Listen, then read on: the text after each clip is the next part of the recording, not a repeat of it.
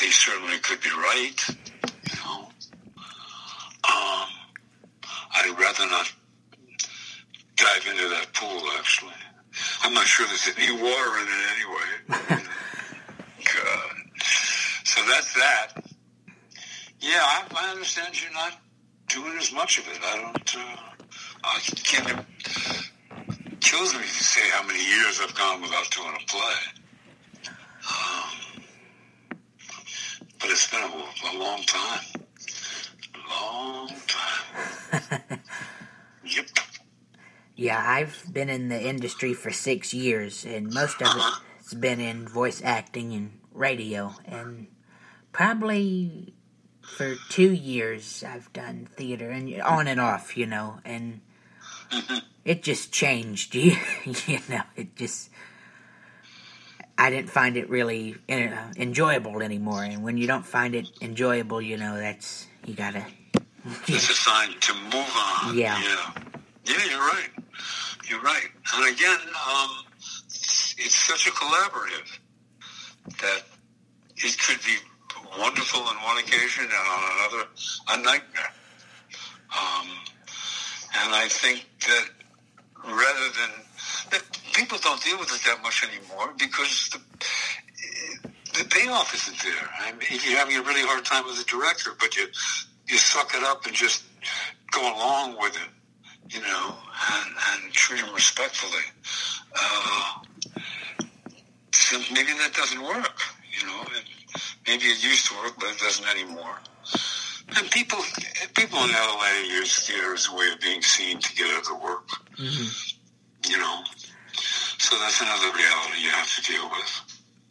Uh, Yeah, I don't, you know, I don't know what else to say. Uh, except get right back to you, you gotta love it or get out. yeah, Only because you'll make yourself crazy. Um, you know, I look at Robin Williams and I think, my lord, oh yeah, comed- yeah, comedically one of the most gifted people that we've ever produced. He's sensational, and yet, look what happened. You know, hmm very sad. Yeah. It makes you wonder if the actors are truly happy, you know, or just Oh yeah, or, or uh, throw co- comics, stand-up comics, into that same category. Mhm. You know, and uh, how miserable are they? God, we're, well, I'm sorry, I'm nosediving this interview here. Um, oh no, I'm enjoying it, you know. Oh, good. I'm glad. I just don't want to seem too negative. But, you know, it's. I, I did a, a cartoon show for a year. Uh, and in it, in the cast, was. And it was my. My, uh, my first. Actually, my, my very first dealing with animation. That was maybe my second audition.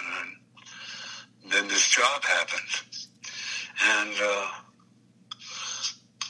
her, her, well, she knows who she is. Mhm. She, wi- wildly talented, unbelievably talented.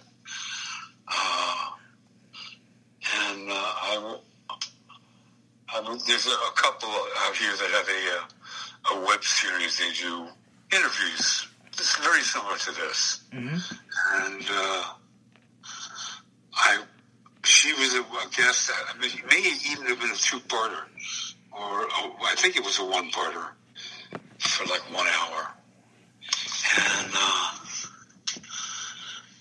she performed as well as she was interviewed. She balanced beautifully, um, letting them know by watching just how talented she really is, which is again amazing.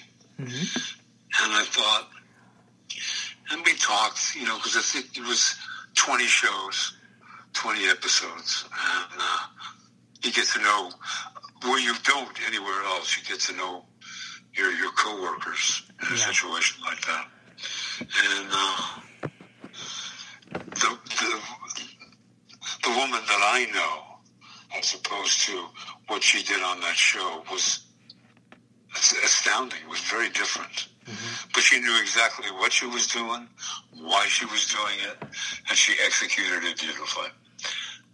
And, and it drew me in. It absolutely drew me in. Um, so to work with, uh, here's a woman who's, her agent went and got her, she's Canadian, mm-hmm. and legalized her here.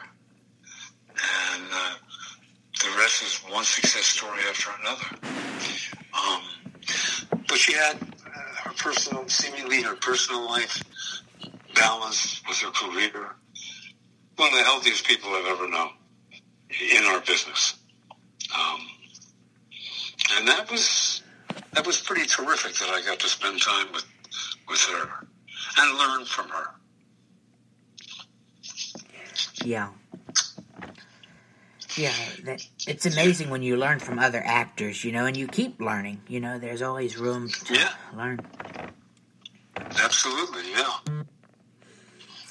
Yes, yes. My next question to you is do you Do you have any upcoming uh, projects in voice acting or anything? Well, that's an easy one. I don't. But, you know, it, I had I had uh, some auditions in the last two weeks, and uh, they were uh, animation and video game, and who knows? You know, maybe one of those will turn into a gig. Um, mm-hmm. You just don't know, and you can't. I have to follow my own advice and and uh, forget about it. You know, it's kind of hard because one of them is something I would give my left arm to do. Yeah. But again, as we've been discussing it, I got to say, yeah, that's great. Well, I hope you get it. If I don't, so what? I will survive. Um, it's uh, like I don't want to get into politics. You, you notice how, how unavoidable it is? Mm-hmm. The last year or two? Jeez. Awful. Awful, awful, awful. Yeah, yeah it's... So, yeah, no, so the answer to your question is no, I don't. I, nothing specific yeah. Uh, on the horizon at all. Um, at all. Not even an audiobook, and I've done a, quite a few of those. Oh, yeah. Um, now, see, I miss that. That's that's the worst paying work in, in our whole business, and yet I never feel better or better or more alive than doing an audiobook. Uh, and especially if it's an important book, mm-hmm. uh, a book that stimulates people to think about stuff. Um, I love it. I really love it. Um, maybe when you can get a chance to do a book like Columbine. Uh, oh yeah. Wow. And every uh, see, every job I had, it seems, my entire career was sort of almost inevitably a bestseller. Uh, and the better the writing, the more fun it is to do. Uh,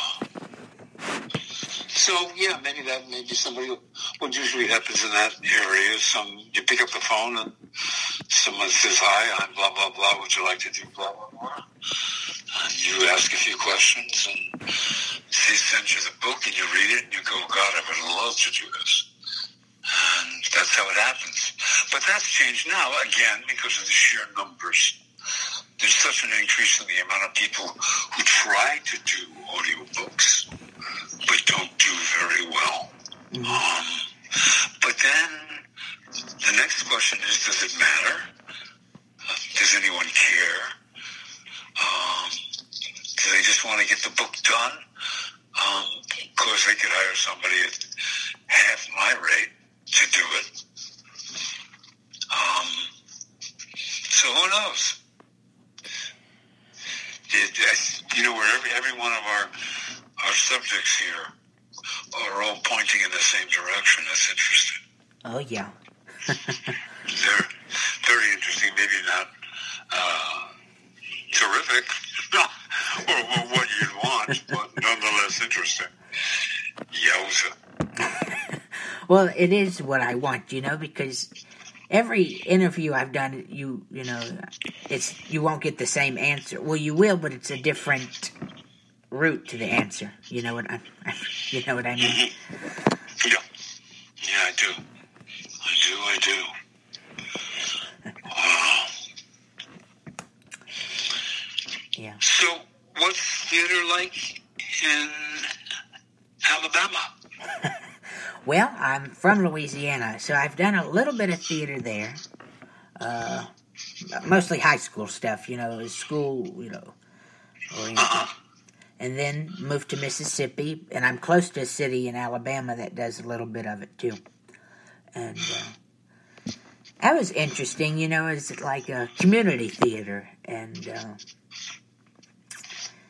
that was interesting. And I've done a few plays in high school. You know, one was a Shakespeare play. I thought I was going to die because, you know, Shakespeare is very Mm, difficult. And, uh, yes. Doesn't have to be, but yeah, I know what you mean. It's another language. oh, yeah. Definitely that. Yeah. This is scares the hell out of me. yeah, I've done a little, and it's whew, hmm. no respect for Mr. Will. yeah. Well, my Holly, hmm who you, you're going to inter- interview, hmm Yeah, I'll interview her on the 31st. Yep. yeah, she's from Louisiana. You'll find that out quickly. hmm From Shreveport. Mm-hmm. Have her talk about what she had, what role she had in Alice in Wonderland. Tim Burton's Alice in Wonderland. hmm Oh, okay. Good, stuff. Wonder, you've seen the movie. hmm I- I'm just, I'm assuming, yeah. Yeah. But I'll let her tell you the story, not me. I don't want to ruin it for her, so she will. She will. Yeah. Well, my last question to you, Yeah. And I know we discussed a little bit, well, not a little, but a lot about it, is do you have any more pieces of advice for people who want to get into the crazy world of acting? the crazy industry. Do you have any other pieces of advice? Hello, I, lo- I lost you there. Repeat that, please. Okay. My last question is Yeah. And I know we talked a lot about this. Do you have any other pieces of advice for people who want to get in the industry? Um. Don't say no to anything. Oh yeah. as long as it's moral.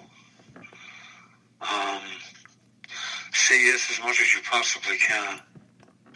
Uh,